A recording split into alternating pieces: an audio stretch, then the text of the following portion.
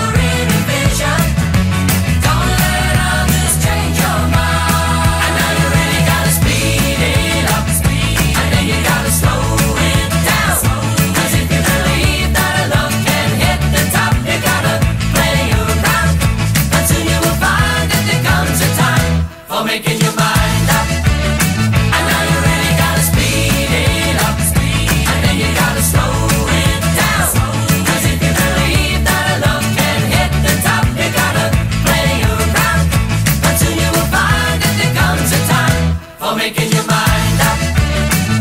For making your mind up. For making your mind up. For making your mind up. Bucks Fizz, making your mind up.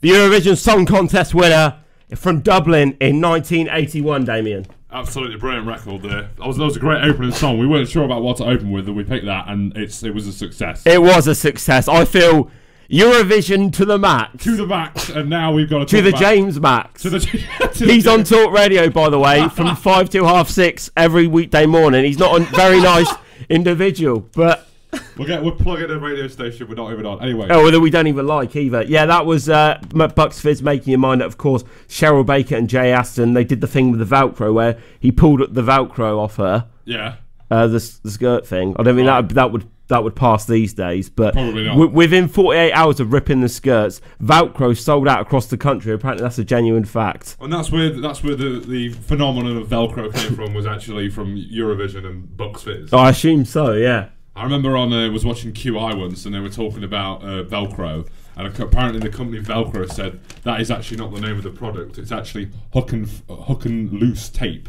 And then Stephen Fry, in a fit of rage, tore the Velcro and said, "It's Velcro! It's Velcro!" Because it's like it's like you know when the brand Yeah. becomes the thing. Like yeah, Anyway, You look a bit. You look a bit like Stephen. Well, you used to in that pro, old profile picture you had, where you were praise, were you praising the NHS? Oh yeah, that was when I had uh, long hair. Was one of, that was one of my uh, one of three lockdown haircuts I had to endure. Yeah. That was when you used to praise the NHS. I was well. it's because we've got a feature coming up on Plank of the Week about NHS. We're so indeed, it's not yeah. a slight on the NHS. Yeah, not yeah, not something, odd. that something online. Plank of the week, of course. Fact or fall in, uh, and some great Eurovision music. This is URN, This is URN. and this is Gina G. We got Gina G. Yes. Ooh, ah, just a little bit. Eurovision 19.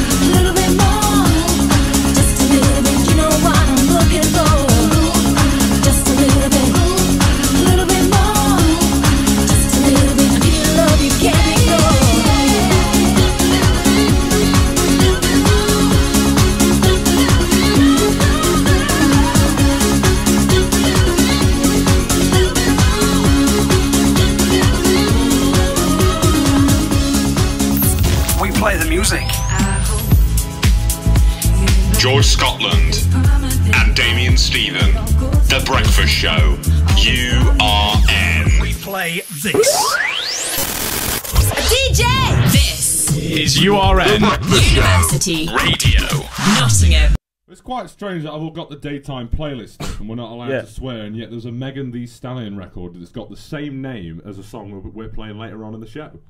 Right. Okay. Yeah. That's that, strange. Yeah, that is. I don't even know who the hell that is. You seem to be more up to date with rappers than I am. Yeah, I know, but she's, she sings some very explicit lyrics, so I'm just surprised that that's been allowed. Well, I mean, that's the thing. A lot of these people moan about, um, "Baby, it's cold outside," but then explicit lyrics like this are allowed on the radio. Cardi, it's just, Cardi yeah, stuff. Cognitive dissident? I don't know. Yeah. Well, I don't know. Anyway, Anyway, yeah, that, uh, Gina G, the first overseas act to represent the UK at Eurovision back in 1996, came sick, was the most successful UK Eurovision entry ever on the US chart, reaching number five on the US Billboard chart, also reached number one in the UK, and was the last Eurovision song, Damian, Yeah. to have a number one in the UK.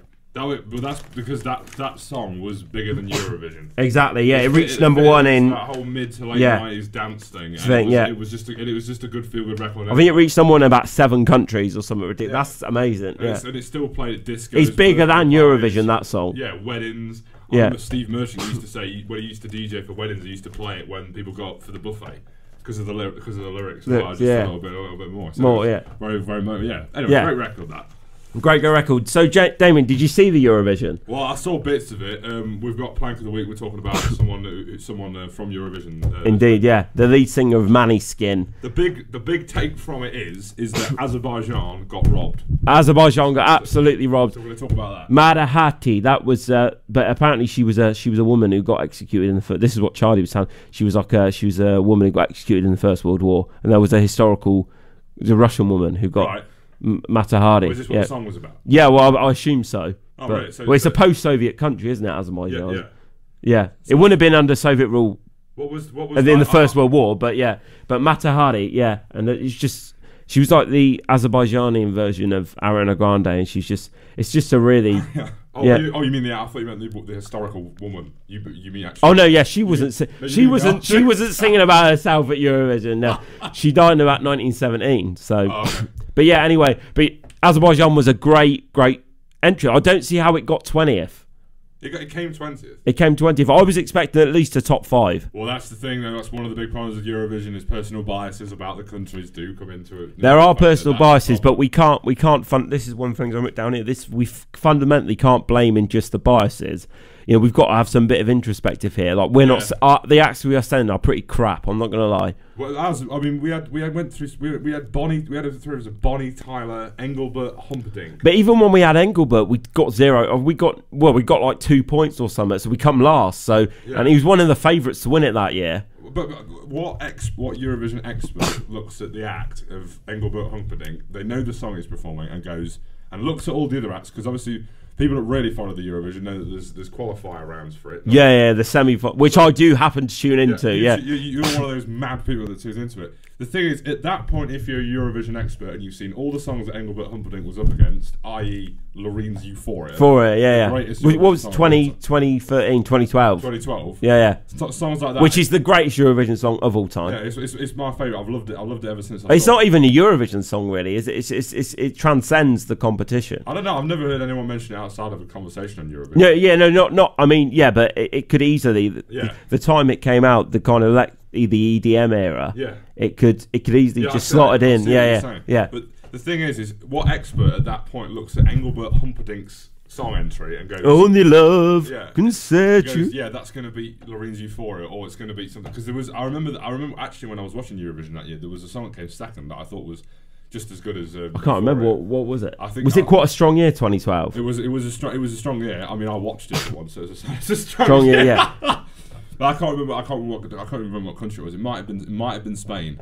I can't. But it was a really good record. 2009 was. I remember 2009 because they had Azerbaijan had a song called "Always on My Mind." I always remember that. It wasn't the Pet Shop Boys. It was just called "Always." not the Elvis Presley cover that Yeah, yeah, million, pre- million bands have covered. No. Yeah, which is a million miles better than the Elvis Presley song anyway. It was Azerbaijan. Uh, Azerbaijan. Uh, obviously, Alexander Rybak. We play him in a bit. Um, Oh yeah. Uh, we're, we're playing him next, aren't we? Actually, yeah, 2009. Uh, Alexander Rybak Fairy Tale. But then they also had Jade Ewen for the UK. Uh, she later became one of the Sugababes, but she came fifth with Andrew Lloyd Webber on the stage, and it was it's a great, great song. One of the only times I remember that we've done well in my lifetime. Well, this is the thing. Somebody said somebody said this on uh, another radio show the other day. Is that I Andrew Lloyd Webber's there, quite a fam- quite a famous figure. Why don't we just put Led Zeppelin in? Like, is it, if we just put Led Zeppelin in, we'll win. Led Zeppelin, they all still alive? Well, I know, but what I'm saying is in the Yeah. past, like saying Yeah, yeah. like mid '90s or whatever, you, we weren't winning then. Just go, well, we'll put Led Zeppelin, put Oasis in, we'll storm it. We would. St- think, do you think we'd but, actually? it- but it kind of. I but- reckon, I reckon the greatest shame that Britain could ever face in the Eurovision is if we put in a multinational supergroup band and still didn't win. That would just. 'cause I mean, I think then it it would would be political. then I would retract from my previous argument and be like, Yeah, yeah. "Nah, they just hate us." yeah, I know, but that's what I, I think that would be the ultimate defeat, and I, I, I, I actually think if we did do that, it would happen, and we'd come like third or something. Something. Yeah, yeah, yeah. yeah. Anyway, yeah, this is Alexander Rybak, Fairy Tale. The song smashed the record in Moscow 2008. Uh, the competition's 54th, uh, 54th year with a massive 387 points, um, which was at till that time the greatest number of points ever accumulated. That was then Right. beat in 2016 by um, by Ukraine's entry. Uh, I've got a funny fact here about Alexander Rybak. Actually, in his 2000 so, he had a career post Eurovision, especially in his um, his um, native Norway. In 2012, he released a song called "Leave Me Alone," addressing his real life stalker, an obsessive fan from Israel. Who had six? Who had sent him 600 emails and asked to marry him? The saga caused him to change his phone number constantly, as she would call him on every new number, and he was forced to stay with friends whenever he turned to Oslo. That's crazy. That's such a far. That's the most long distance stalking I've ever heard. Yeah, Israel to Norway. only won Eurovision. yeah, I know, I know. Uh, 2018, Alexander returned as Norway's entry, but failed to match up to his 2009 win, finishing 16th. This is one of the greatest Eurovision entries of modern times. This is the winner from 2009. This is Alexander Rybak and Fairy Tale. This is URN. This is URN.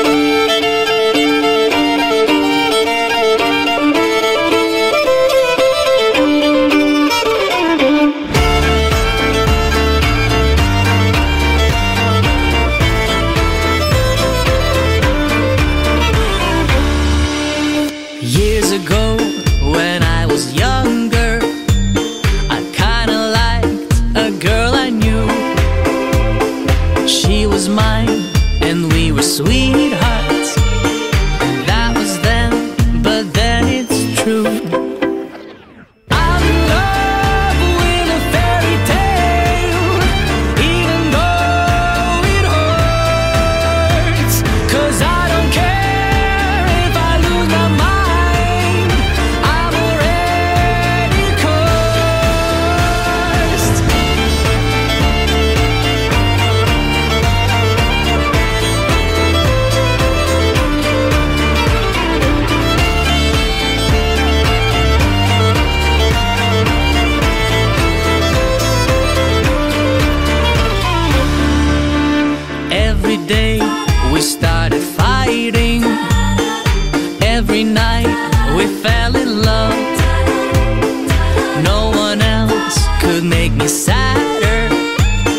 but no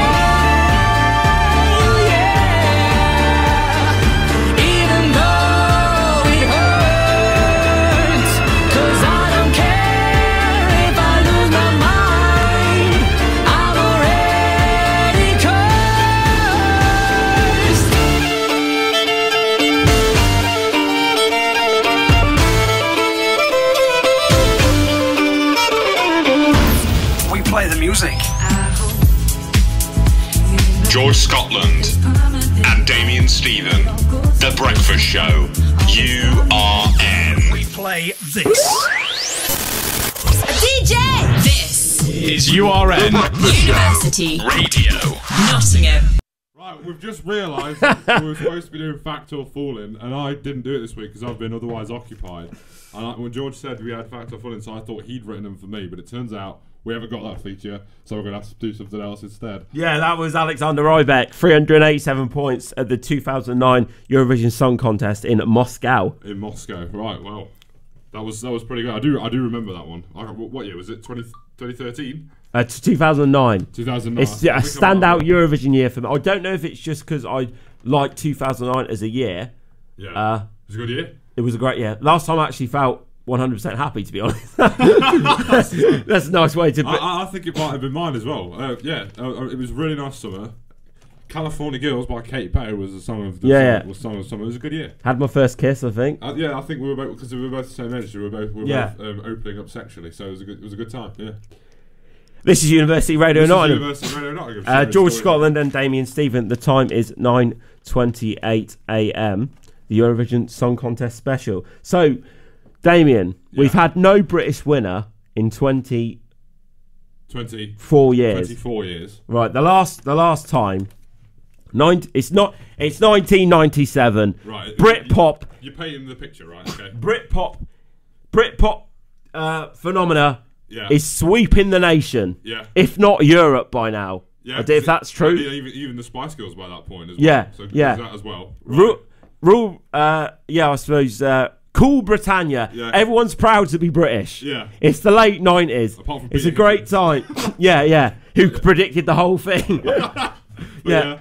Tony Blair has literally just been elected as new Labour Prime Minister Yeah. a day before. A new dawn has broken, has it not? Is the words Right. that he said. Okay. New Labour won an absolute thumping landslide against John Major's grey Conservatives.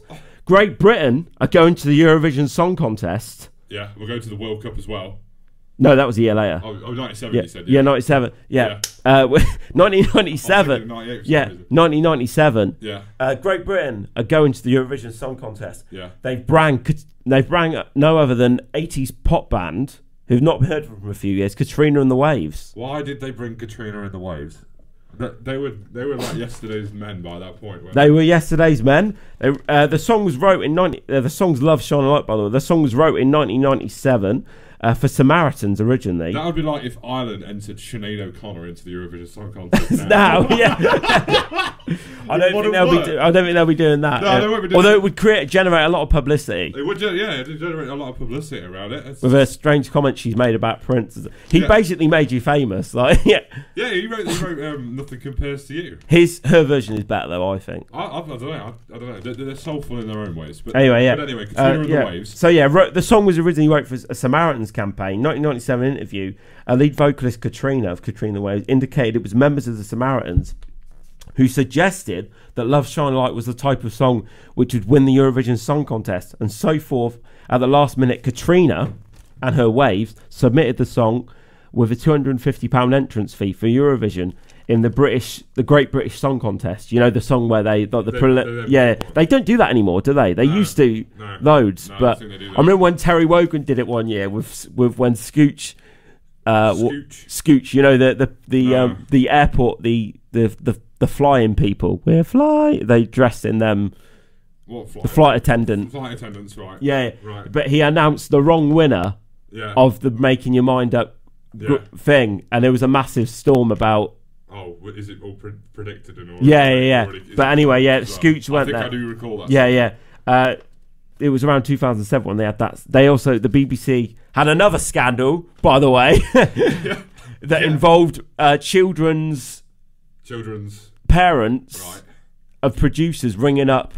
No, no, uh, yeah, Yeah. children of producers Yeah. ringing in to be like Blue Peter winners. Yeah, I You remember? I Yeah, remember yeah, that, yeah, yeah. And getting, yeah, being, and getting their badges, and the whole thing was all, all done in Yeah, house. Ant and Dec were involved in that as well. Their career's still going quite well. Yeah, well, they've got to, they're on ITV, aren't they? They're on TV, yeah, yeah. Yeah. But, uh, ITV, So yeah. what we'll do t- by way of introdu- we've introduced the song is bear in mind everything George said about the background, the theme, the culture of Britain, and Katrina of Katrina and the Waves said to all the Eurovision people, "This is the song that captures Britain today." This is Love Shine a Light, uh, 3rd of May 1997, performed at the Point Theatre in Dublin. Uh, Love Shine a Light was 24th in a field of 25 songs. Uh, of course, won the Eurovision Song Contest in 1997, our last ever victory. This actually won. So This actually won 78 58.8% of total votes available, the third highest in history uh, in that present voting system. We've got a different voting system now. That was behind another British entry, Save All Your Kisses for Me, Brotherhood of Man in 76, and also Ein bisschen Frieden by Nicole, Germany, I was going to 1982. say Ian Beale. We played a bit of him last week as well. We did. We did. Good enough. He left. Katrina and the Waves. Uh, Katrina obviously proclaimed the Eurovision win wasn't the only landslide that week, referring to the victory of New Labour. Damian, what's your opinion on that? Uh, my opinion is that Katrina of Katrina and the Waves. We won Eurovision. We did win Eurovision. This is URN. Love, shine a light in every corner of my heart. Let the love light carry, let the love light carry. Light up the magic in every little part. Let our love shine a light in every corner of our hearts.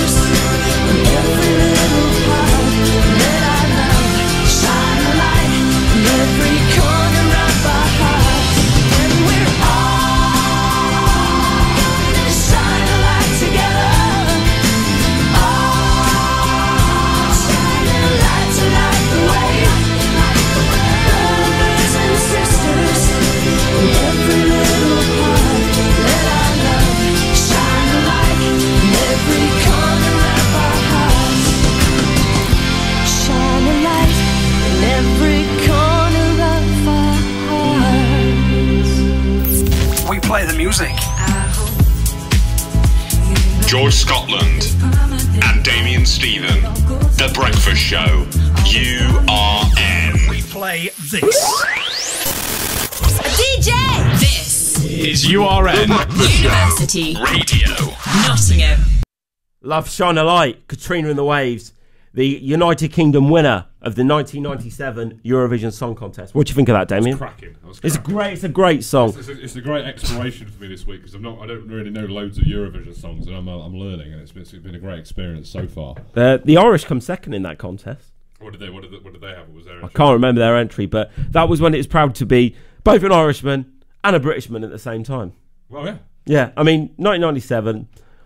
You know, just a new government's been elected. Everyone feels patriotic. It's a shame that we don't. Uh, our country doesn't evoke these fe- those feelings we're these days. Yeah, divided people now. we are. I feel like we've become much more aggr- uh, regressive, which is a shame. But What have we got? What have we got next? Have we got some features of what, song have we got? uh, yeah, we've got um, we've got Hot Pursuit next, right. Okay. Who? uh, which is going to lead us into our next song. So, right. uh, so next, we got, do you remember Jemini? V- yeah, vaguely Jemini. So you had um, with a J, wasn't it? It was Jemini. Jemini with a J. Right, yeah, well, not like the star sign. I'm assuming it was based on the star yeah, sign. Yeah. Okay. Yeah. Uh, so Jemini, you had Chris and Gemma uh, from from from See Liverpool. now why it's with the J. Okay. Yeah, yeah, Chris and Gemma. Right, alright, alright, from Liverpool. Right. They were our entry in 2003 in the Latvia. Do you like my accent? It's, it's pretty good. Uh, Cry Baby. Uh, anyone that knows this is notoriously infamous because this song scored a grand total of Zero. nil point. Yeah, But this is one of those ones where I imagine it deserved it. yeah. It's. I was just about to swear then. Terrible. Have you seen the live I version think of you it? mentioned when I was when I was putting the songs together, bringing them in, that this song was almost all out of key.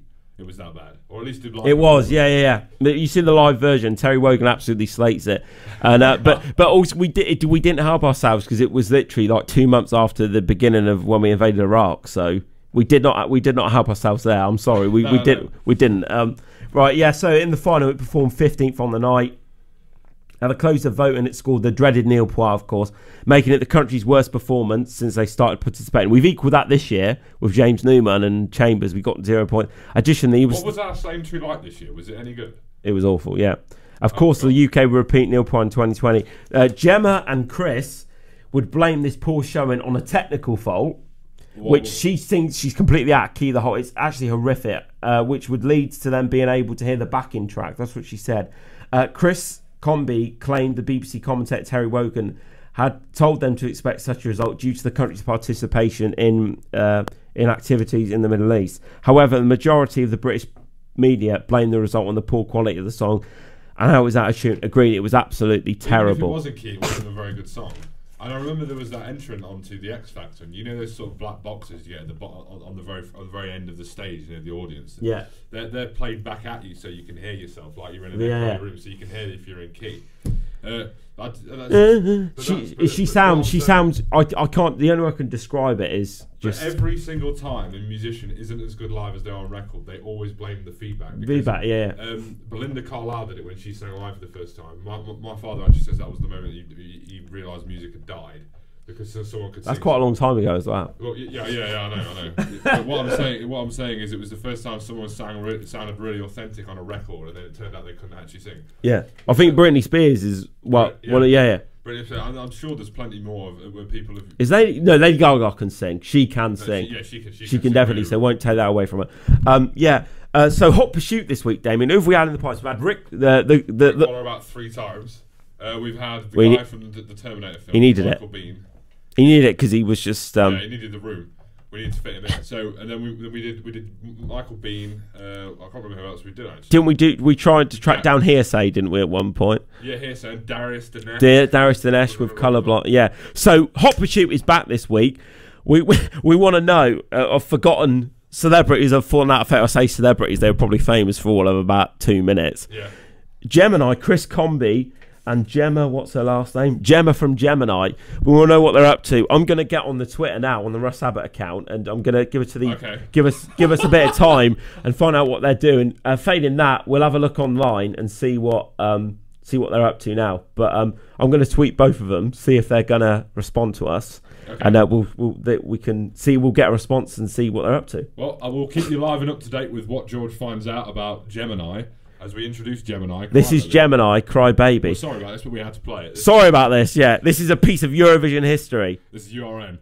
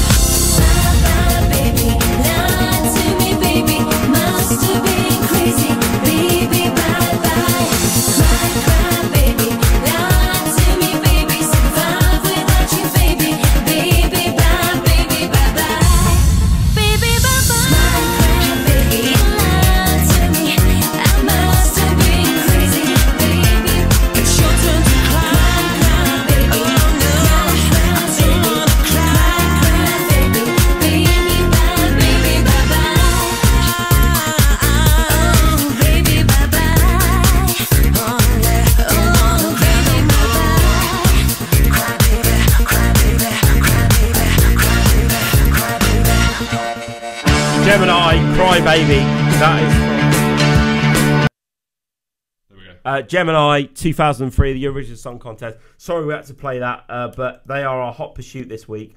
I'm just going to try and send a tweet out, Damien, uh, as we're live on air. Yeah. I'm trying to sign in, but I don't want to sign in from my account trying to track down Jemini. I'd rather do it. You'd rather Russ Abbott try and. I'd rather 80s just do Russ it for the Russ Abbott account. So what's his name? Chris Comby. we were, we were doing a bit of a Basildon Bond moment, aren't We we? were, yeah, yeah. Big shout se- out to Lane Roberts. Doing a, doing a, doing a secret stalking of uh, Darius, not Darius Danesh, Is this Chris? Jemini.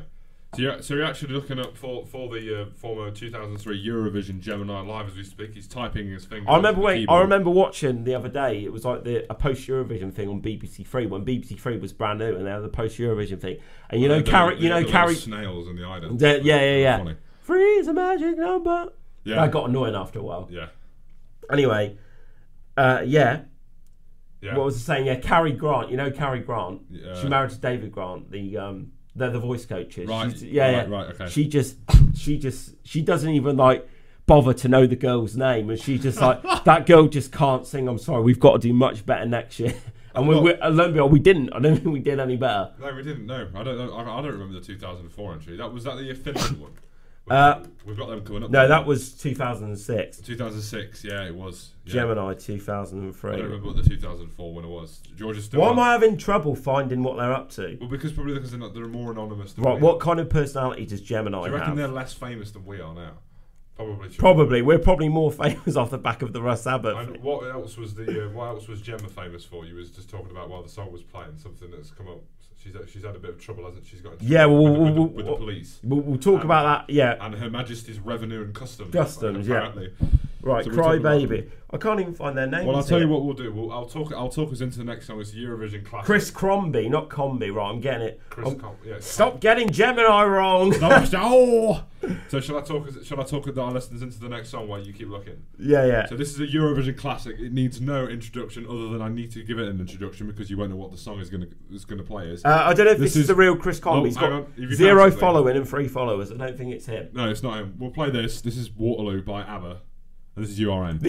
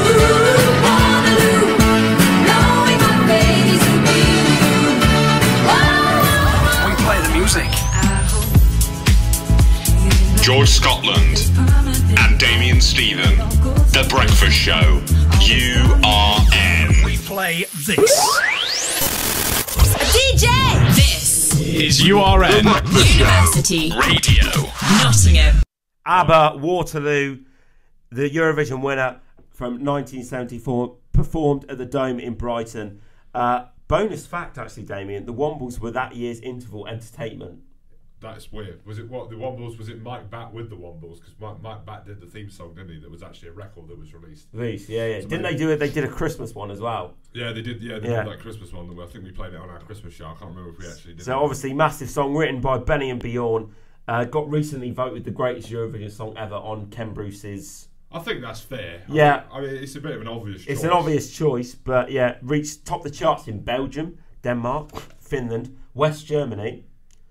Do they not have a charts in East Germany? I don't know, probably They not. were probably weren't allowed to play it. A, a nationalised CD industry or something. Well, no, East Germany. Yeah, would have just. Yeah, would have just been. We're gonna. We're gonna actually. Yeah, it would have, everything would have been We're actually the going state, to. We're, actually, we're Yeah. actually gonna, next year. We're going to be doing a Soviet show where we play music from the Eastern Bloc. So Indeed, uh, yeah. Hopefully, we'll be tuning in for that as well. I'm sure. I'm sure that will be 100% in favour here on university campus, but not with us. but not with us. Yeah, Anyway. for some warped reason, it's quite a popular ideology. Uh, Belgium, Denmark, Finland, West Germany, Ireland, Norway, South uh, Africa, and Switzerland, while reaching the top three in Austria, France, and the Netherlands. Did Where, you where did it actually chart in Sweden? Did it not? Did, that's weird. top the charts in Sweden? Oh, good, good, good, Yeah. good, good. Yeah. No, it's peaked at number two. What beat it? There must have been something really, really good. But maybe it was like ABBA. Oh no no, I'm getting confused. Yeah, it definitely topped the chart in Sweden. The song was immensely popular in Sweden. No, it did. Right, it did not reach okay, number one. Third time. Uh, they're due to Sweden having a combined album and singles chart at the time, which that's odd. That, how does that work? So, is there like an aggregate or or a, or a ratio that they have to work out from singles to? How the heck? Just God knows. how- but you're doing that in the seventies without computers and you're keeping track of Track of it, yeah, yeah. I Anyway, know. that is that is Right, odd. yeah. But um, And they've got snow. Anyway, yeah. that was Waterloo. But obviously, ABBA went on to have uh, an, uh, an illustrious career before breaking up in about 1982, something like that. something like that. Very early on in the 80s, yeah. The, the blonde one, I always forget the name of for some reason. Agnetha. Ag, ag, ag, yeah. What's the what's She- the she's a bit of a what's recluse, what's the isn't what's the brunette one called? uh, Frida, Frida, yeah, yeah, who produced that album with Phil Collins, and there's a video on YouTube of them sort of arguing about it. Yeah, yeah, yeah. Well, to it, yeah, They yeah. didn't really get on. Oh, yeah. It's But- weird when you see that, isn't it? it's Yeah. weird. Yeah, it is weird. If Well, I- you thought like you just think pop stars would have this thing that they just all respect each other in some capacity, but clearly, Sometimes it's just Yeah. obviously there's a personality clash, and it just you know, Absolutely, yeah. One, one one. Uh, yeah, she, she's a bit of a recluse, so and decided decided against fame. she had a bit of a stalker at one point as well. Watching uh, that Channel Five, doc, yeah. Every every time ABBA is on the telly, my mum always tells me, "Oh, she has stalking." Stalker, yeah. Every- every- every- Yeah, yeah. My mum used to look a bit. I'll show you a picture of my mum from the um, 70s. They used to say she looked like Agnes. She did a bit, actually, to be Yeah, fair. Yeah. yeah, so, Yeah. yeah, yeah.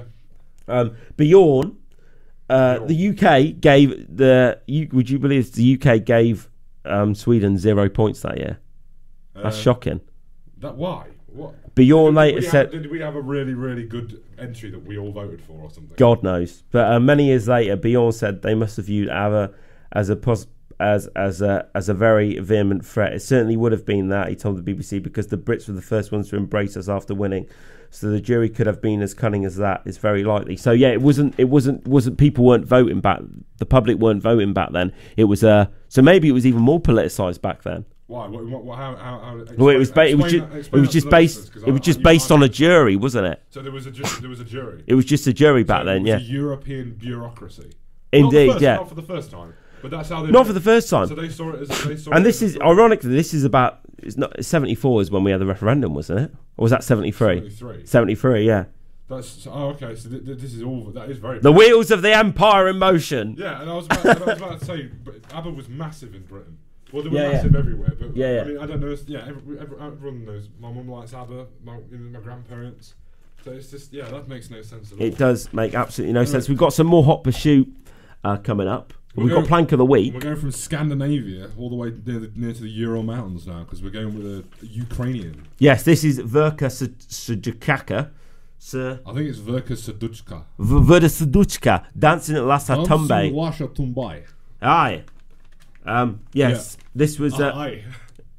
He's Irish now. Aye. Go on. Verker Saduker, Dancing Lasher Tum. We should have played the Dustin the Turkey. Remember him? Oh, From the, that was awful, wasn't it? Yeah, no. Irlande dos a pois. Irlande dos I think we've spared the listeners a, a Yeah. an audio trip there. Yeah. Yeah. Anyway, And I'm sure Irish listeners probably didn't appreciate that because it didn't even reach the final that year. It was it was a na- it was framed as a national embarrassment for Well, Ireland. didn't it come like third when they were picking which songs to? Yeah, yeah, yeah.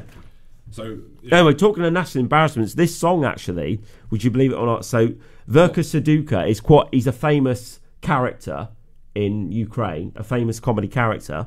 right. Well, like a TV. Sort Like a TV, yeah, Okay, like yeah. a like a Dame Edna Like yeah. type I can see why yeah. this didn't. Yeah. Okay. Yeah. Anyway, uh, so uh, across, he looks obviously. You remember it? He was the guy in the Tim Four. He looked a cross between Timmy Mallett and Sue Pollard, Yeah. and Dame Edna Everage I in did, it. I did watch this video yeah, last. So night. talking of national embarrassments, some Ukrainians and even members of the Ukrainian parliament expressed their disapproval, viewing the character of Suduka as grotesque and vulgar. One of Ukraine's nationwide FM radio stations organised a protest in the February of that year to express their disapproval of selection. The invented words of Lasha Tumbai caused controversy after the performance, as many people noted the phrase's similarity to Russia Goodbye. Ooh. Oh no. So this is this is post Orange Revolution type, yeah. And in, and in our classic taste that we ha- always have on this show, we've got a Russian entry after this. We have, yeah, And of course. then Germany. It couldn't get any worse. In early publicity appearances, Suduka explained that Lasha Tumbai was a Mongolian expression for whipped cream.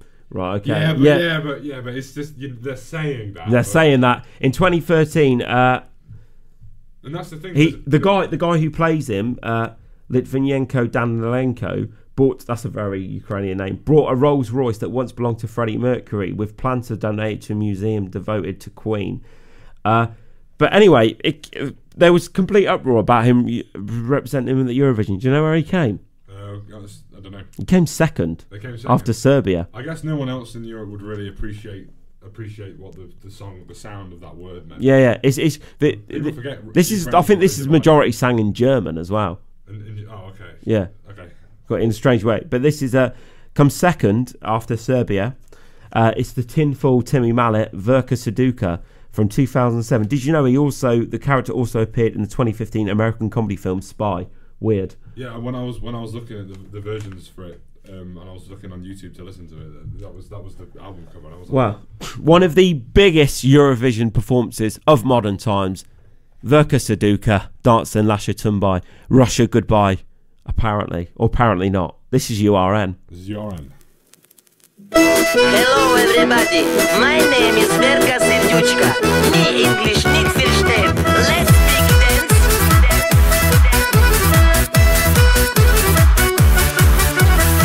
Sieben, sieben, Alulu, sieben, sieben, eins, zwei, sieben, sieben, Alulu, eins, zwei, drei, sieben, sieben, Alulu, sieben, sieben, eins, zwei,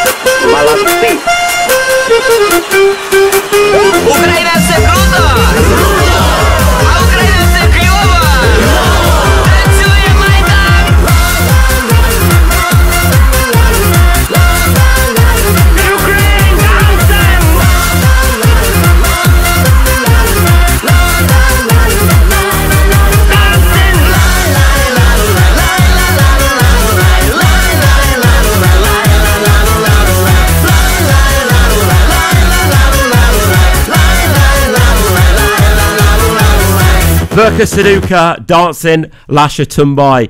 Uh, the guy who plays him claims that it's not Russia goodbye and it's a Mongolian expression for whipped cream. Do you believe him? Well, the thing is with stuff like that is when you're trying to get away with swapping phrases, is it's the context and how things are sung. Sung, yeah, and said. there is a little bit of double speak going on there. I think. Yeah, indeed. Uh, Hot Pursuit, Damien. Hot pursuit. Didn't manage to find anything about. Um, well, I didn't manage to track down Chris Cromby ring- or you- Gemma Allen. Did you ring H- Gemma Abbey. What we should have done as a feature is ring HMRC and ask them about it uh, uh, as a feature and to see what HMRC. Well, yeah, this is the thing. Uh, so si- wouldn't be a prank call. So found some information since 2004. Chris yeah, has worked at Ted Baker and is currently the company's global retail operations manager, according to LinkedIn.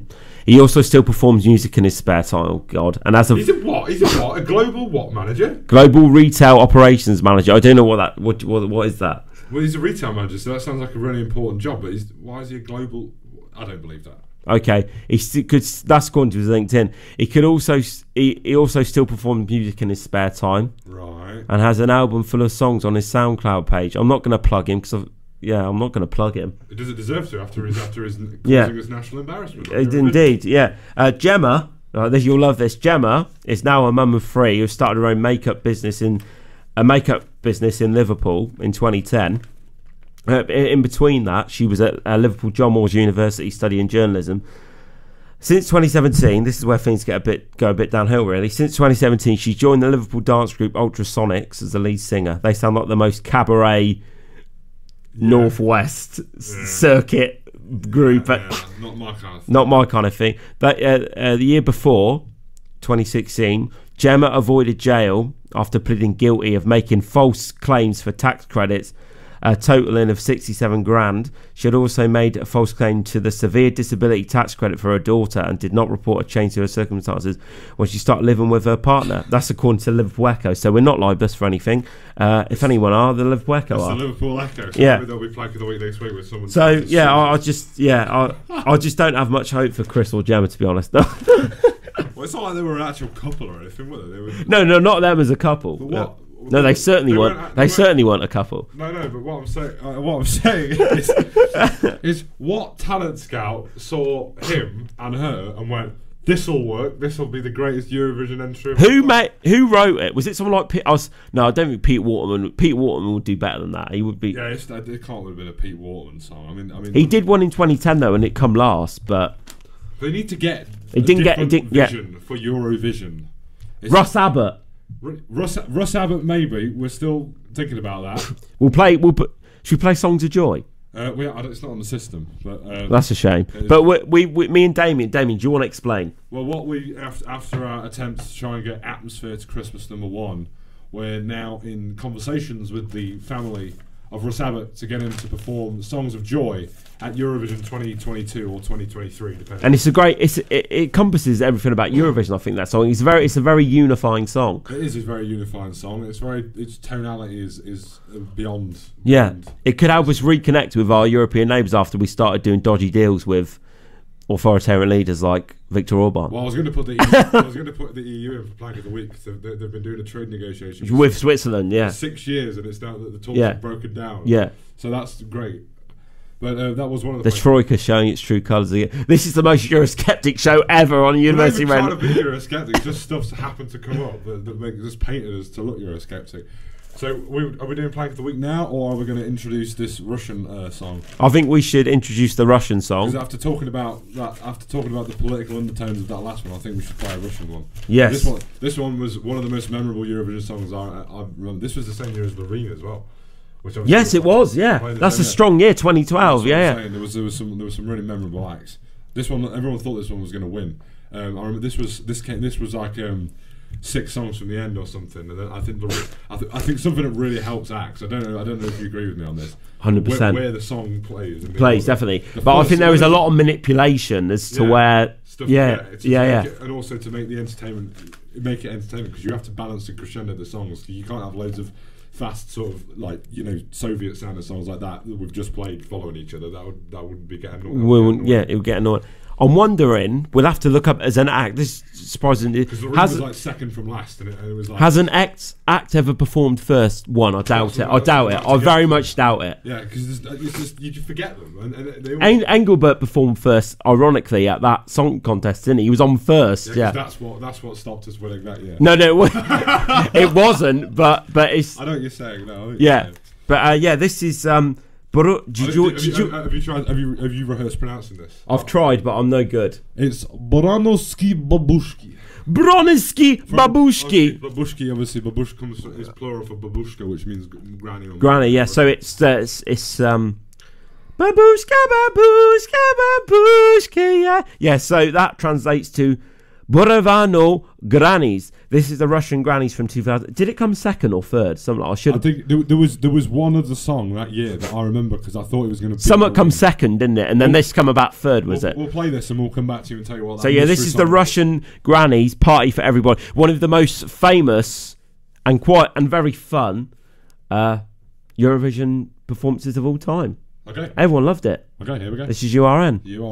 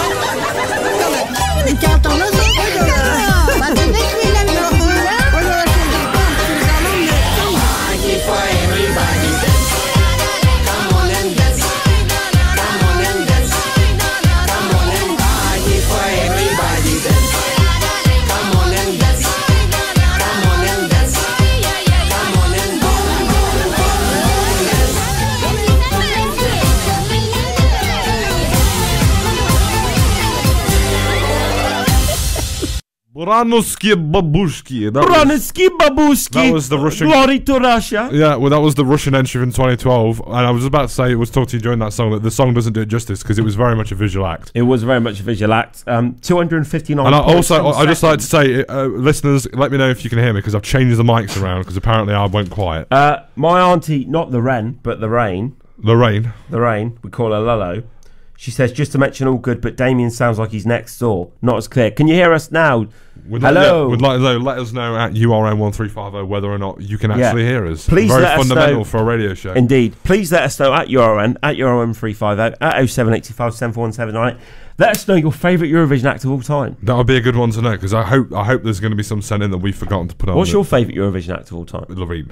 With, without without shadow. Well, of a doubt. even even even her even we'll come to the arena, but but even her even the whole choreography and just everything. It's a great performance. It's a stellar. and she managed to sing well whilst dancing very physically. Yeah, yeah. I couldn't do that. Yeah, No, and you she know what I must be very very fit. And ve- yeah, and trained vocally very well because Yeah, you- yeah. if you've ever tried like singing while bending down, your Down, whole, yeah, your, yeah. your whole voice I never changes. thought of it like that, but yeah. Yeah, I mean, I, I remember. I just thought it was. I just thought it was. I, I mean, I used to think That song, that that whole, that just blew me away. It was so un-Eurovision that it was. Yeah, and it was the, it was the end of the night as well, and it was. Yeah. and I, I think one act followed it, which, which I'd have been a bit annoyed. That was, that was a bit like when the the uh, Rolling Stones were unknown in the US, and, they had to follow James Brown, and it was they said it was the worst thing they ever did in their careers. 'cause yeah. everyone just looked at him like you guys. That, he'd, he'd he'd worked the whole the room up, and they were like they wanted more funk and soul, and they would like singing blues, and they just went in the mood. So Anyway, yeah, that Russian Granny from 2012, uh, Bravusky Babushka. watch it on YouTube. Watch it on YouTube because it's good. watch it on YouTube. Uh,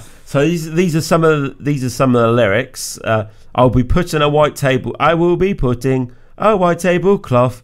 I will be waiting for kids coming back home. The dough is rising joyously, and my heart is cheering. Party for everybody, dance.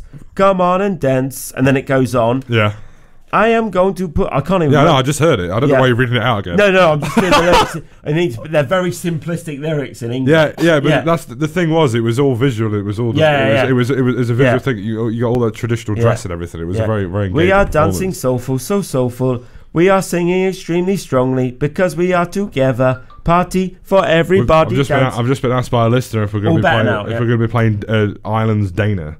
Do you remember that record? our, our Israel's D- Dana International. Yeah. Is that is that what the listener meant? Um, yeah, we are. Who is that listener? Uh, it's my mother. Oh, hi Jane. Yeah, no. Um, we have got also got a Jane, listener. I'm not a bad influence on Damian, by the way, like he seems to make out sometimes. I don't like. I don't like. Also, we lead each other. Getting in fights and We've stuff. also, we've, got, we've also got a listener from Mexico as well, so we're actually gone global this week. oh, that's great. Yeah, is Yeah. she listening? Yeah, she is. She's listening. That's She told- amazing. She told me she's listening. Um, I, I said, well, I, I don't know what's going to come of all this.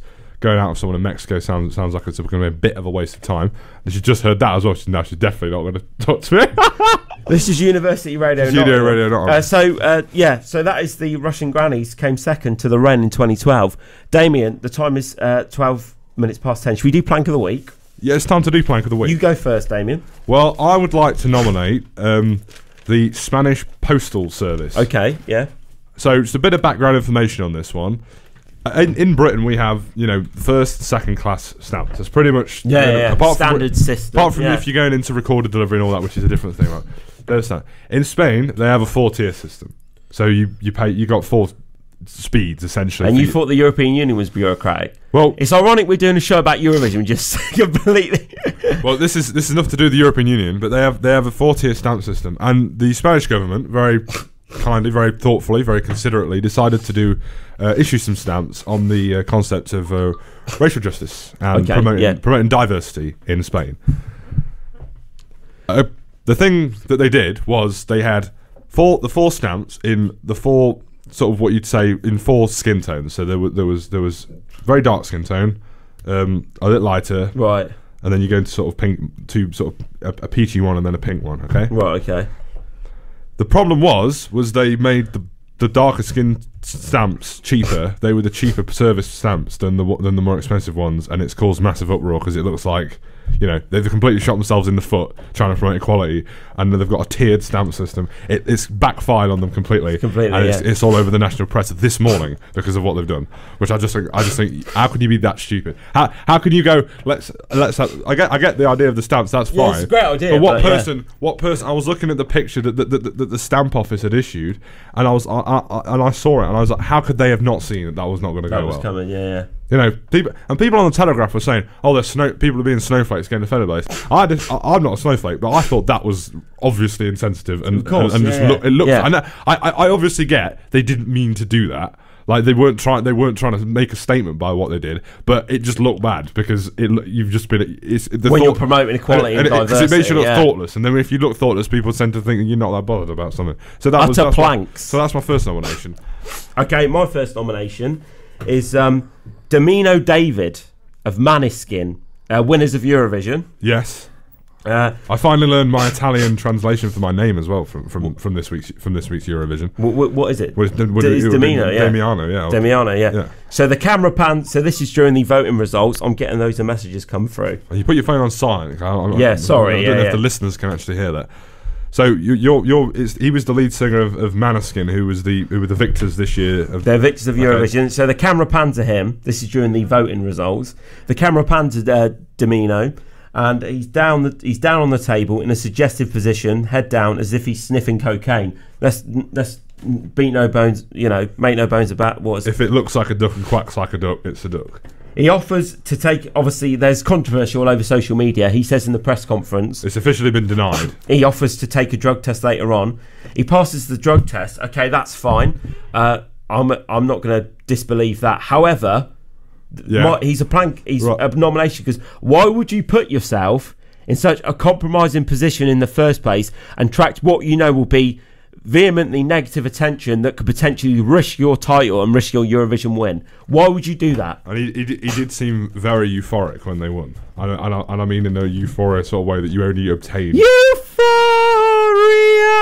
Vi- We're going up, up, up. I can't wait to play that. I know, I know, but what I'm saying is, he, he had they had a euphoria that you could only obtain via drugs. I, they didn't. They didn't look, just look happy they'd won. Is what I'm saying. Well, apparently they didn't. What was all that bit about the broken glass as well? What was all that? Well, that apparently he was just he was sorting out broken glass. But you see his mate turn round to him and looked at him a bit. I can't, Damian, but he looked at him as if a bit like, "What you doing, man? Did, did you see that? Yeah, yeah, yeah. And, Yeah, yeah, yeah, yeah. What are you doing, man? And, Yeah. because they were they were doing a close pan of the of the band. Like, I guarantee the producers would have been saying, "Oh, guys, you're on, you're on, you're on telly." Tell you, yeah, yeah. And he chose to do it. So, so, So many different ways of looking at this. There's so many ways. The angle I'm taking is that uh, I've no reason to disbelieve that um, if if the drug test came back, that he, you know, I'm not going to get all conspiratorial about it. My, my my beef is why would you put yourself in such a position when I mean, is it an ego thing, yeah, I, I mean, or does he just did he just? You must know, like you said, the camera's panning round to you. Yeah. you're watched by 280 million people. BTW. Yeah. By the way, I, yeah. I just, I- but what I don't understand is, I mean, they said that the famous phrase that when they won was "rock and roll will never die," and yeah, I get that taking do, doing all that stuff in Yeah, front yeah. of the camera. Is that, is that, but it's meant to look rock and roll, but doing it deliberately in front of the camera, that's just doing it too. I don't remember like Def Leppard ever deliberately trying to do drugs in front of the camera. Camera, they, yeah. They just did it in their own time. They just got on with things. That's rock and roll, not deliberately trying to look controversial. That's not rock and roll. That's still being corporate. Should we do? And they're we, a band in their own right. I don't know. I just don't understand. should we do a? Should we do a song then? Do our other nominations? Uh, yes, yeah, okay. This is one of your favourites, and it is a good. It is, it's a. It's another competent record in its Yes, own right. this one. is uh, this is the lovely Lena and Satellite, the winner from 2010. Only the second ever win for Germany for after Germany. Nicole in 1982. They've both been young by fairly young women. The- Nicole was 17, and Yeah, uh, the uh, what's not Loreen Lena Lena. was 19 when she won Eurovision. Uh, but Germany don't do surprisingly don't do very well at Eurovision. Which is weird because it's an absolutely beautiful country and has never done anything wrong. This is Lena Satellite.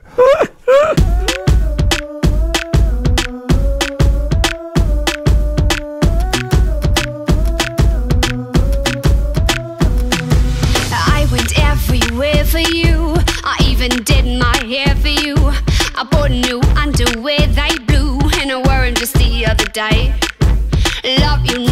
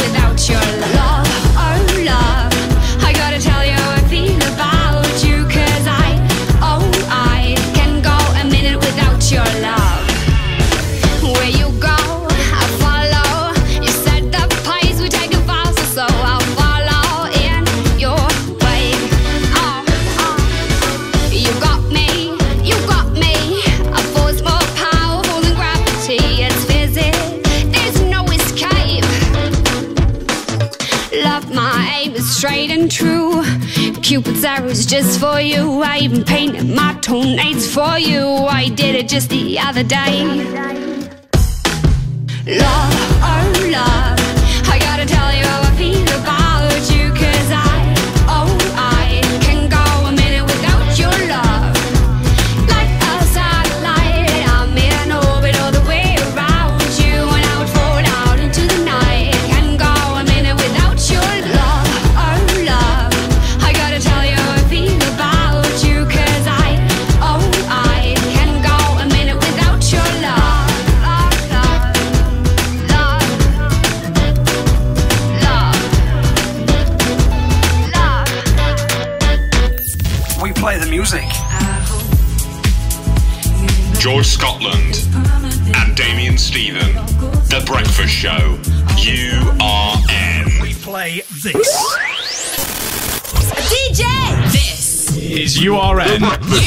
University Radio.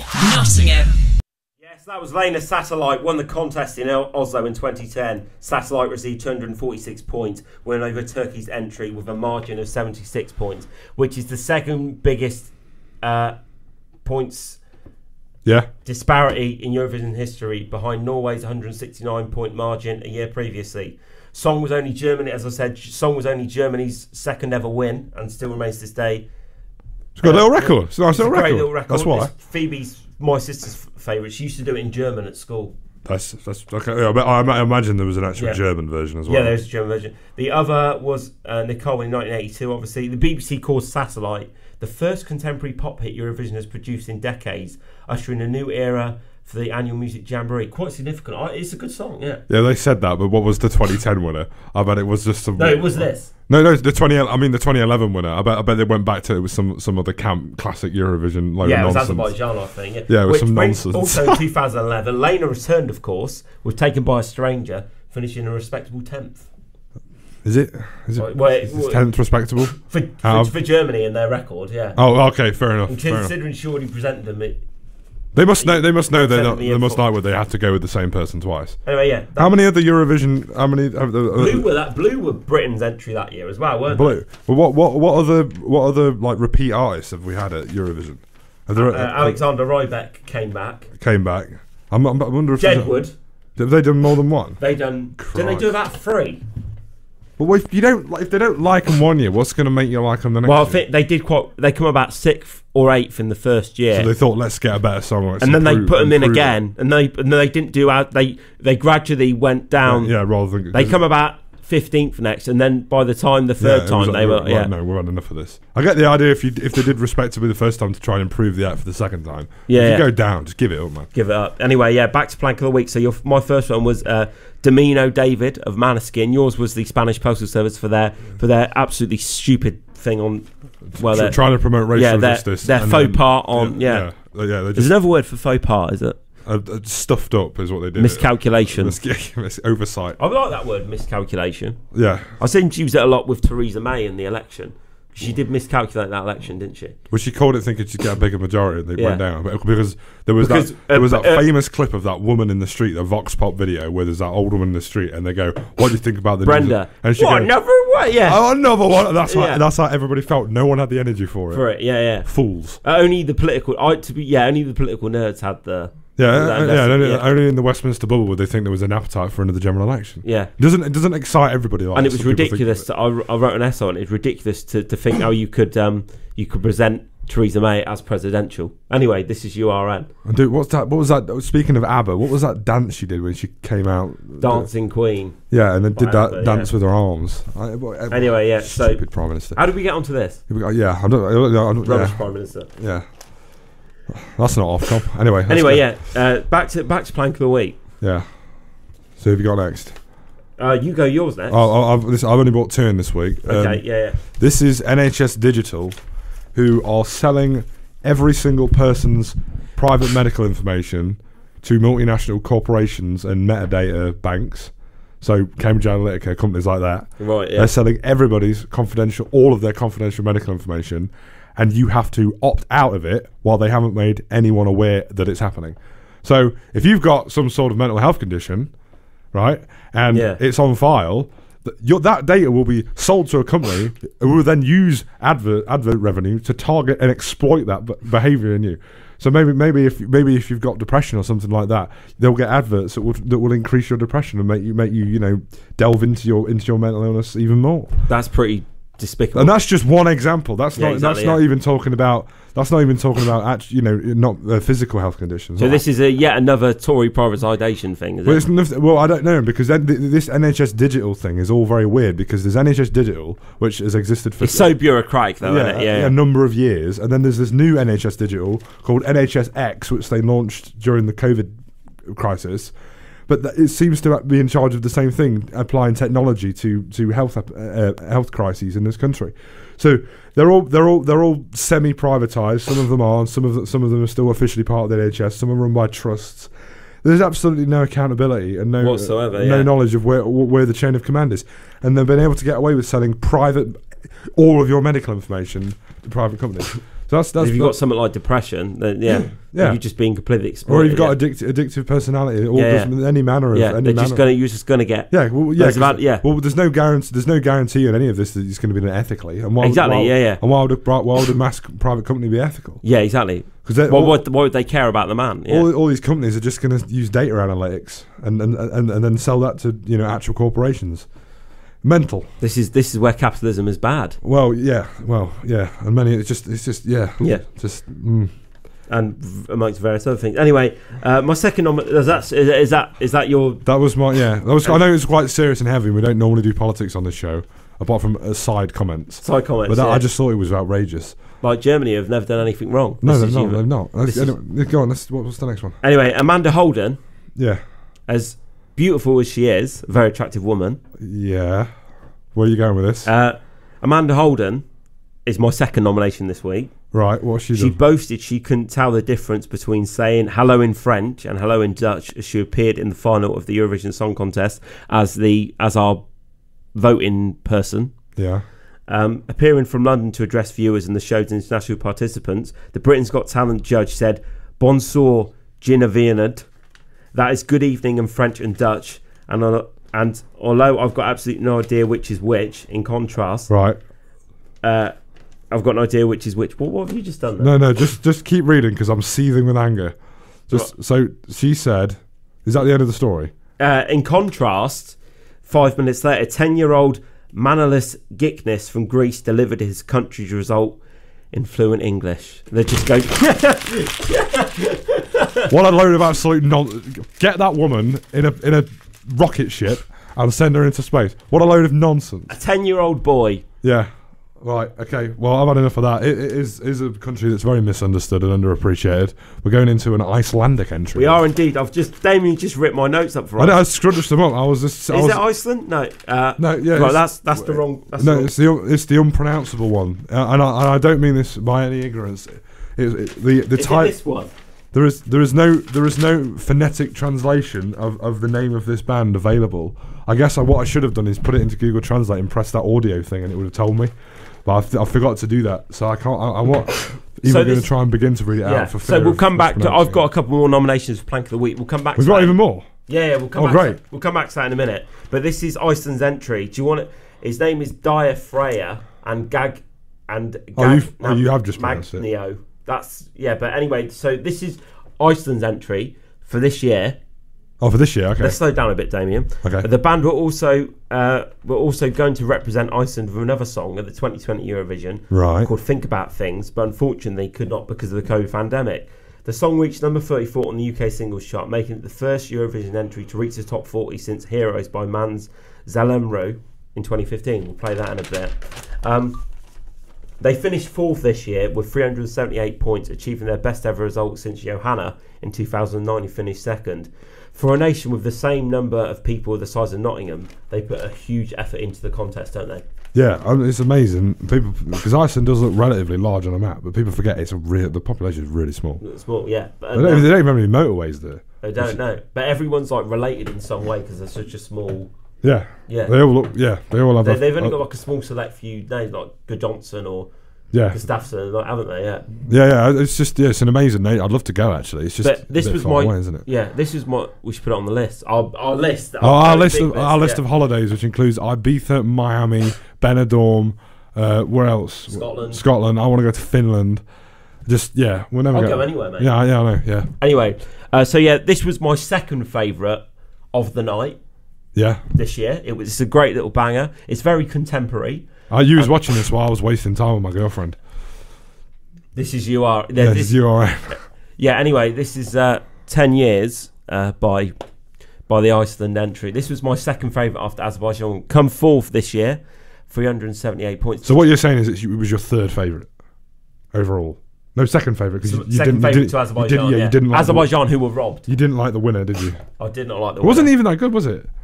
It's just noise and trash. Yeah. Yeah, and I heard we- we've got the album version to play later, and it's, it's not very good either. But yeah. Anyway, yeah. um, yeah. So this is Iceland's entry. I'm not going to try and pronounce the name. Is who's that? Jane. okay, there we go. It's, Anyway, this is uh, Iceland's entry for the Eurovision Song Contest this year. Came fourth, ten years.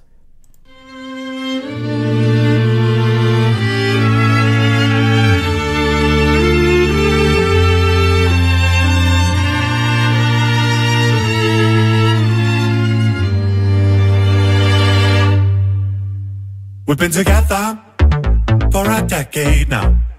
Still every day I'm loving you more.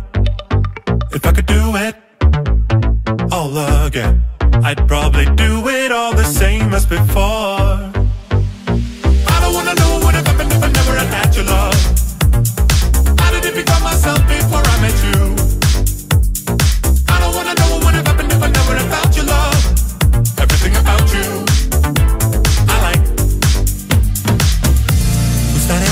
Now we can take it slower.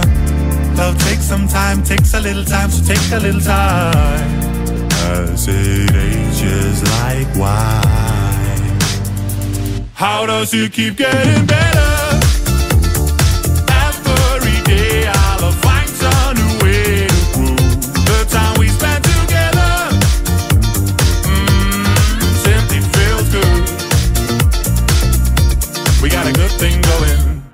And just when I thought that my heart was full, I found places that I never explored.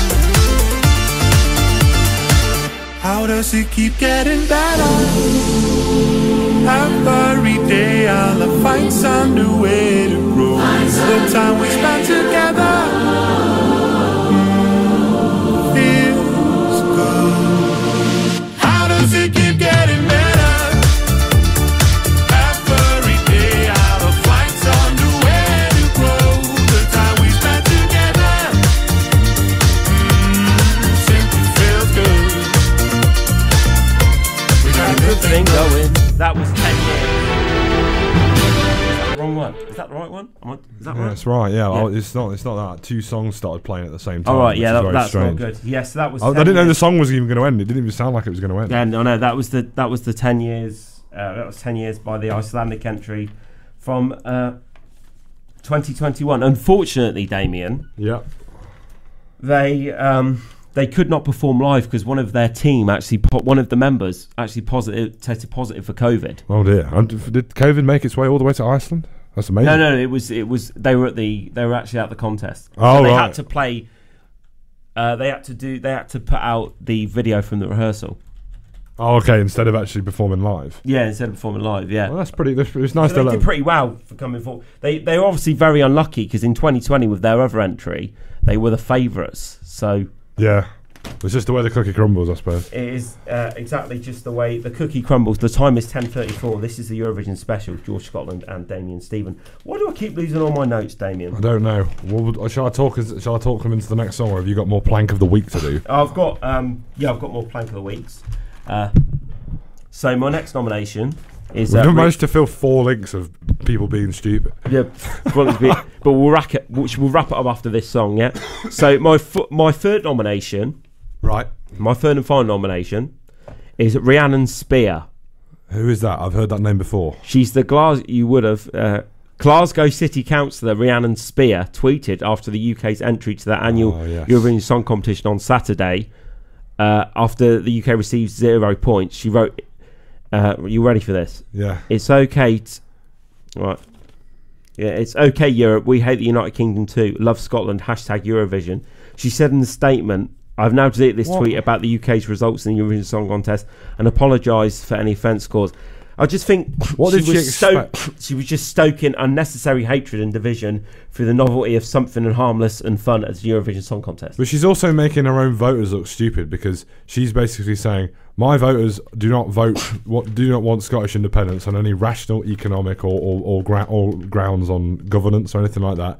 She's she's saying pe- people are voting for SNP because they hate Britain. Yeah. So she's made SM, she's insulted SNP voters out of all of all the people there. She's I- made them look I don't- eco nationalistic, Yeah, but yeah, they're not. Yeah, yeah. I, I don't. I don't care. I, I don't Yeah. care if she if she if she doesn't like me because I'm English. I'm, I'm, I'm, not Yeah. I don't even know you it are. says more about her than it, It does. says yeah. more. Yeah, it says more about the. S- It's made the SNP look terrible. Terrible. Yeah. I mean, uh, but why? And also, the last statistical vote we've got is the last Scottish referendum, where 55% of people vote to remain in the United Kingdom. So most Scottish people don't hate the. They UK. don't. Uh, mind you, a lot has a lot has A lot, happened has, a, lot, a lot has changed, since- but even people that want to leave might want to leave the United Kingdom don't do it out of aren't doing it out of a hatred. yeah, yeah, yeah. For They're some probably- biological. yeah, yeah, yeah. or nationalistic. well, Come on, yeah, yeah. man. Come Yeah. on, be nicer to people, man. Be nicer to people. That's so. Yeah, that's Rhiannon Spear, Amanda Holden, and uh, Damiano David. Who was your? Who yours? The the, Um, NHS Spanish, Digital. Spanish Postal Service. Well, I didn't check the actual name Anyway, of Spanish Postal so- Service, but Anyway, yeah. So this. Uh, anyway, we'll, we'll come back. We'll come back to plank a week after this. But uh, we're going to go with the 1998 winner now, and this is Dana International with Diva. She was representing Israel. She was the first uh, transgender winner, which was obviously a massive thing for the Eurovision Song Contest. This is Dana International from 1998 with Diva.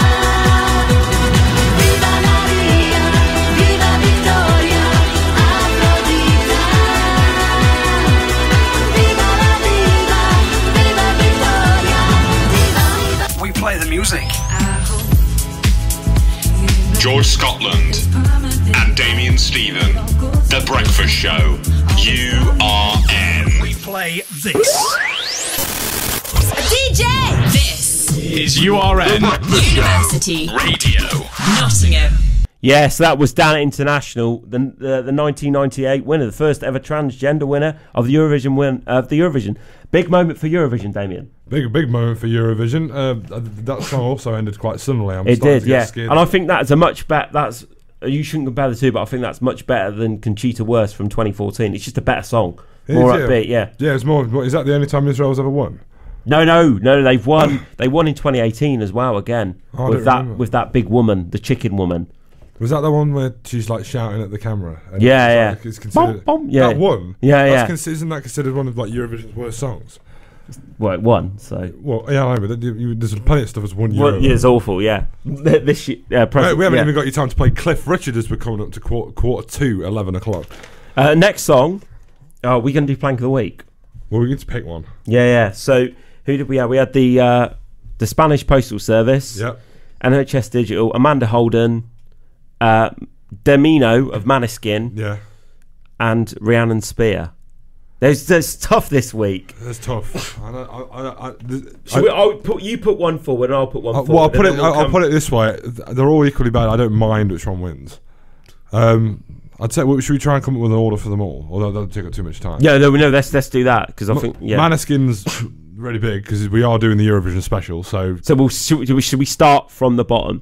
From the bottom, on the bottom, I'd say um, would have to be Amanda Holden because it was just silly It was just silly, yeah. and, and didn't. Yeah. And Yeah. Then second would be the Spanish postal service. Yeah, yeah, yeah, Because it's pretty bad, but it's not actually. Yeah. No one's actually got hurt or anything. yeah. Um, Third would have to be maybe Rhiannon Spear, or is that second? no, we'll do NHS. Di- well, NHS Digital, yeah. I've actually technically broke this news. Apart, I think only the Financial Times reported it. Apart. So the, in order, in order of Hot off the press, no, yeah. in, in order of broadcasters in this country and, networks that are media organisations that have broadcast this massive news that all your all your data, is medical data gets on off. It goes in the list of from descending order: the Financial Times, Peter Hitchens' blog, and URN. Brand, yeah. Weird. Brilliant, yeah. Uh, yeah. So what else? And then um, we've got um, we've got Måneskin. Yeah, Måneskin.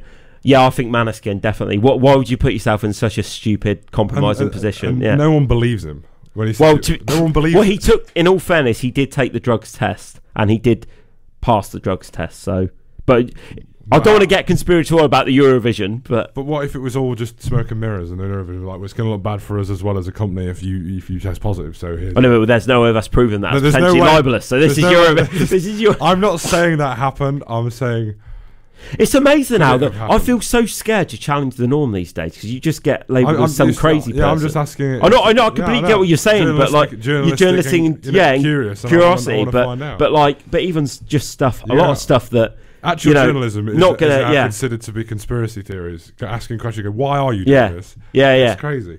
No, I, I agree with you, but just for the sake of the narrative, we'll go that he passed the drug test. The, the reason he's prank of the week is because why? Why the hell would you? Even if you weren't doing drugs, why would you?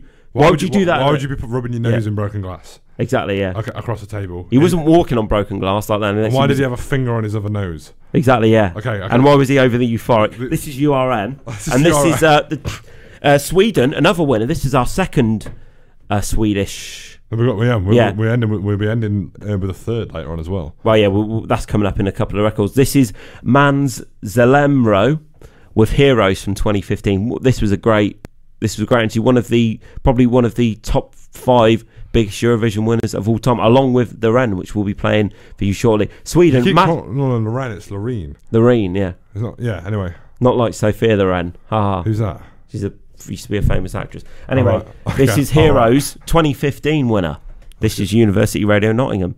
Damiano David from Måneskin. You are our Plank of the week. Don't tell the gods I left a mess. I can't undo what has been done. Let's run for cover. What if I'm the only hero left? You better fire off your gun once and forever. He said, Go dry your eyes and live your life like there is no tomorrow, son. And tell the others to go singing like a hummingbird, the greatest anthem ever heard. We are the heroes of our time, but we're dancing with the demons in our minds.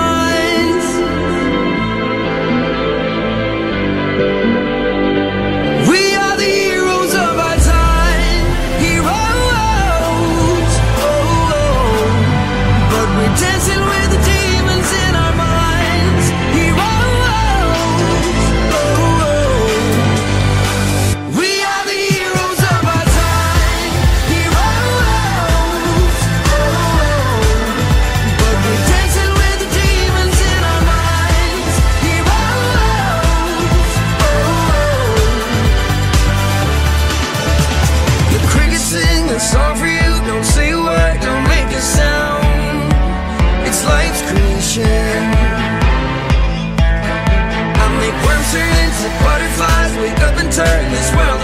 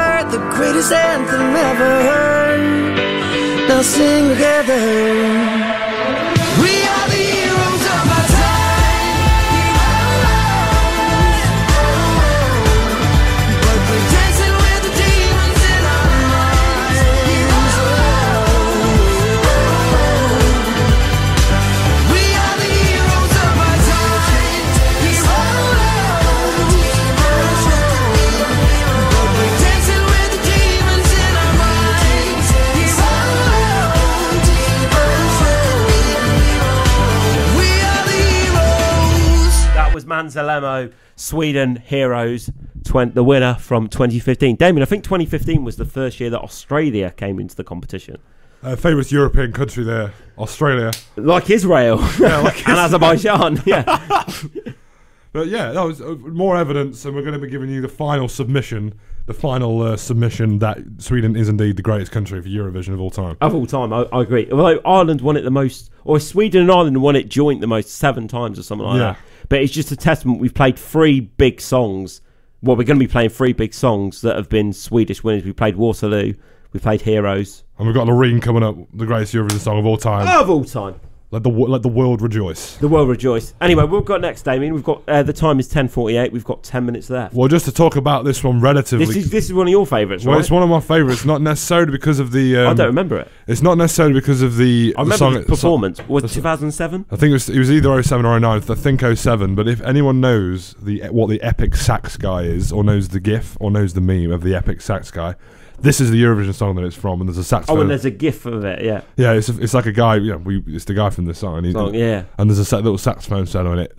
The, easiest saxophone solos. My brother showed me how to play this on his saxophone. It requires the movement. brother of, knows it. Yeah, it Yeah. requires the movement of one finger. Right. Okay. It's, it's that easy, and he's not even playing a real saxophone in the Right, okay. When he's on, when he, obviously they don't have to play the real instruments, do they, on uh, Eurovision? Yeah. So so he's, he can't even or he doesn't sing he doesn't sing during the performance either. All he does is play one sax solo, and he doesn't even play it right. And all you have to do is move one finger.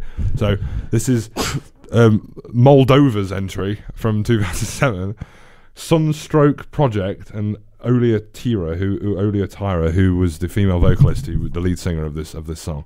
This is called Runaway. This is called Runaway. And this is URN. URN.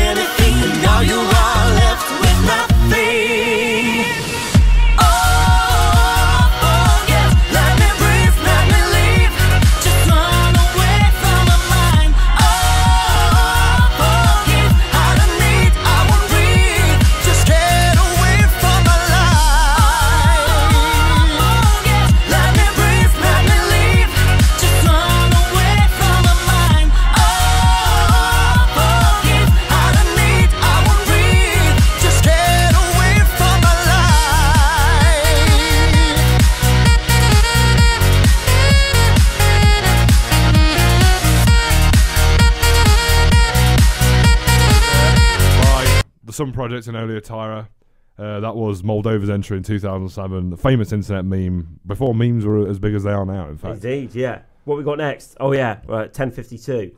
We're at 10:52. We've got two more songs left. We've got one of the, this is one of the weirdest um, Eurovision winners of all time. Uh, heavy death metal. gr- Heavy Finnish death metal, Lordi Lordi, from Finland. Hard Rock Hallelujah. Finland before this had not qualified for the final in their previous attempts ever, decided they had. That's quite crazy. Yeah, that is because it's quite it's quite a lot. years of when it, at that point deciding they had nothing to lose.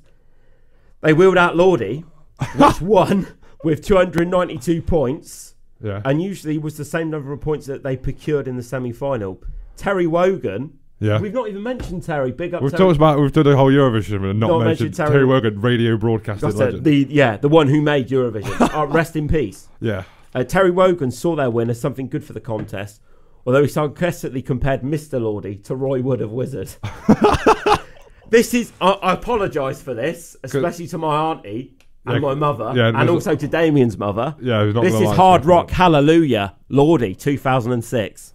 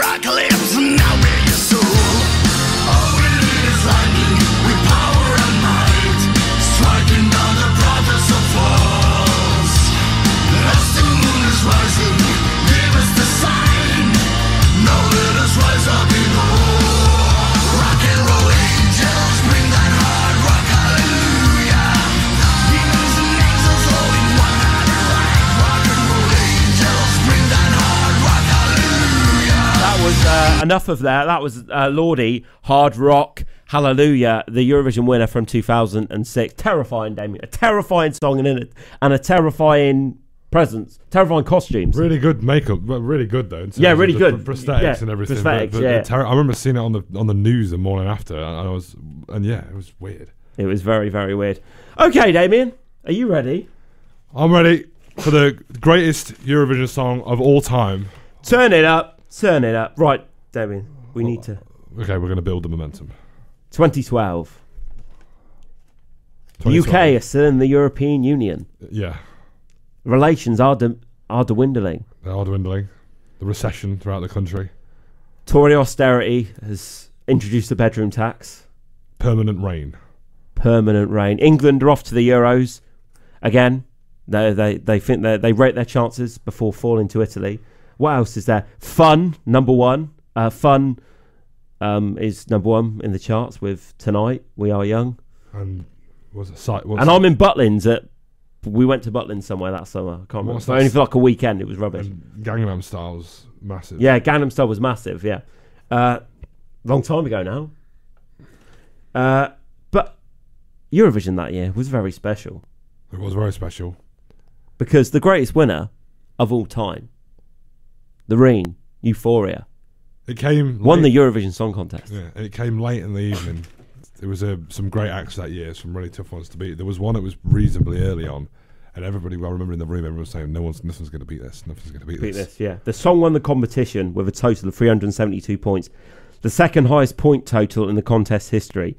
The song received the highest number of maximum 12 points of any entry in the country's history, with 18 out of 18 countries given the uh, given the song 12 points. Yeah. Sweden received 40 of the 42 votes from 40 of the 42 countries, excluding itself. The only country to give zero points was Italy.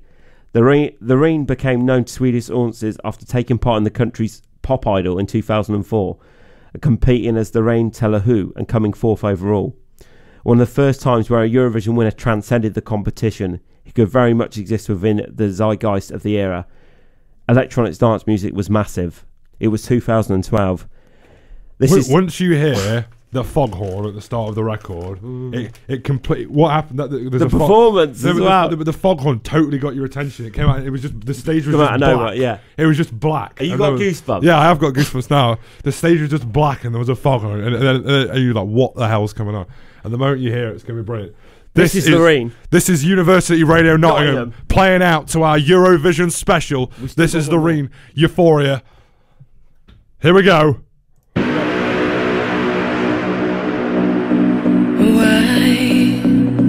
Why can't this